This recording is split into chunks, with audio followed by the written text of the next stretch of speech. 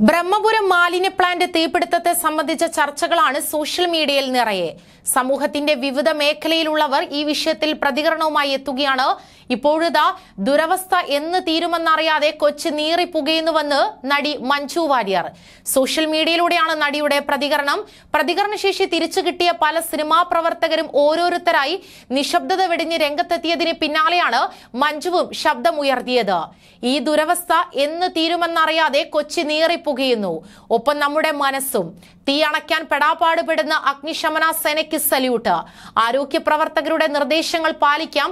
തീയും പുകയും പരിഭ്രാന്തികളും എത്രയും വേഗം അണയട്ടെ.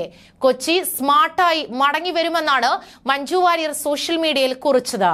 അതേസമയം പ്രദേശത്ത് താമസക്കാർ കൂടിയായ സിനിമാ താരങ്ങളുടെ മൗനത്തിൽ രൂക്ഷ വിമർശനവുമായി നിർമ്മാതാവ് ഷിബു ജി സുശീലൻ രംഗത്തെത്തിയിട്ടുണ്ട്. ജനങ്ങൾക്ക് ജീവവായു നിഷേധിക്കുന്ന അധികാരങ്ങൾക്കെതിരെ പ്രതിഷേധിക്കാൻ കാലതാമസം എന്തുകൊണ്ടാണെന്നും ഇപ്പോൾ പ്രതികരിച്ചില്ലെങ്കിൽ പിന്നെ എപ്പോഴാണെന്നും ഷിബു ചോദിച്ചു. ഫേസ്ബുക്കിൽ ഷിബു പങ്കുവച്ച കുറിപ്പിന്റെ പൂർണരൂപം ഇപ്രകാരമായിരുന്നു. കഴിഞ്ഞ കുറേ ദിവസങ്ങളായി കൊച്ചിയിലെ ജനങ്ങളെ ശ്വാസം മുട്ടിച്ച് കൊല്ലുന്നതിനെതിരെ പ്രതികരിക്കാൻ കൊച്ചിയിൽ താമസിക്കുന്ന നമ്മുടെ സ്റ്റാറുകളായ മമ്മൂക്ക ലാലേട്ടൻ പൃഥ്വിരാജ് തുടങ്ങി എല്ലാവരും മുന്നോട്ട് വരണമെന്ന് അപേക്ഷിക്കുന്നു. നമ്മൾ ഉറക്കത്തിലും ഈ വിഷവായുവല്ലേ ശ്വസിക്കുന്നത്? അതോ നിങ്ങളുടെ വീടുകളിൽ വേറെ വായു ഉൽപ്പാദിപ്പിക്കുന്നുണ്ടോ? ജീവിക്കാൻ വേണ്ട ജീവവായു നിഷേധിക്കുന്ന അധികാരികൾക്കെതിരെ സംസാരിക്കാൻ പോലും എന്താണ് കാലതാമസം? ഇങ്ങനെയുള്ള അനീതിക്കെതിരെ പ്രതികരിച്ചില്ലെങ്കിൽ പിന്നെ എന്തിനോടാണ് നിങ്ങൾ പ്രതികരിക്കുക? ആരെങ്കിലും എഴുതി തരുന്ന ഡയലോഗുകളാൽ ഗർജിക്കുന്ന കഥാപാത്രങ്ങളിൽ മാത്രം മതിയോ നിങ്ങളുടെ ഗർജനം രാഷ്ട്രീയം നോക്കാതെ അധികാരികൾക്കെതിരെ പ്രതികരിക്കുക ജനങ്ങൾക്ക് വേണ്ടി നിങ്ങളുടെ പ്രേക്ഷകർക്ക് വേണ്ടി പ്രതികരിക്കുക. ഇനി ഒരിക്കലും ഈ അവസ്ഥ ഉണ്ടാകാതിരിക്കാൻ വേണ്ടി പ്രതികരിക്കുക. ഇങ്ങനെ പറഞ്ഞത് തെറ്റായി പോയെങ്കിൽ എന്നോട് ക്ഷമിക്കുകയെന്നും അദ്ദേഹം ഫേസ്ബുക്കിൽ കുറിച്ചു. അതോടൊപ്പം തന്നെ സർക്കാരിനെതിരെ രൂക്ഷ വിമർശനവുമായി നടൻ ഹരീഷ് പേരടിയും രംഗത്തെത്തിയിട്ടുണ്ട്. പത്താൻ സിനിമയുമായി ബന്ധപ്പെട്ട വസ്ത്രവിവാദം ഉടലെടുത്തപ്പോൾ ഘോരം ഘോരം പ്രസംഗിച്ച് നടിക്ക് ഐക്യദാർഢ്യം അറിയിച്ച സാംസ്കാരിക നായികമാർ. സർക്കാരിന്റെ പിടിപ്പുകേടിനാൽ കൊച്ചിയിലെ ജനത വിഷം ശ്വസിക്കേണ്ടി വന്നപ്പോൾ മിണ്ടാട്ടമില്ലാതെ സുഖമായി ഇരിക്കുകയാണെന്ന് ഹരീഷ് പേരടി വിമർശിച്ചു. ഫേസ്ബുക്കിലൂടെ തന്നെയായിരുന്നു അദ്ദേഹത്തിന്റെ പ്രതികരണവും. ബ്രഹ്മപുരത്തെ തീപിടുത്തത്തെ ന്യായീകരിക്കുന്നവർക്കെതിരെ രമേശ് പിഷാരടിയും രംഗത്തെത്തിയിട്ടുണ്ട്.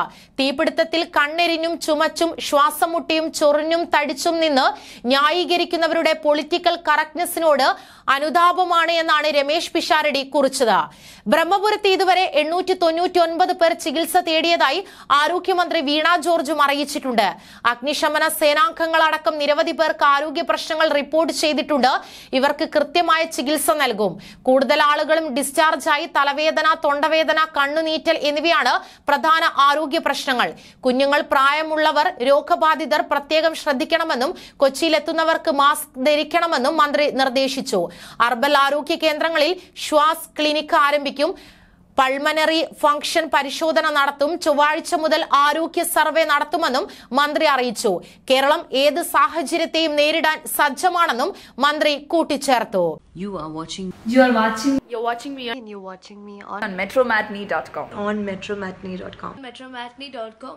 Metromatney.com. Subscribe for more videos. subscribe for more videos. Subscribe here for more videos. Subscribe now. Thank you.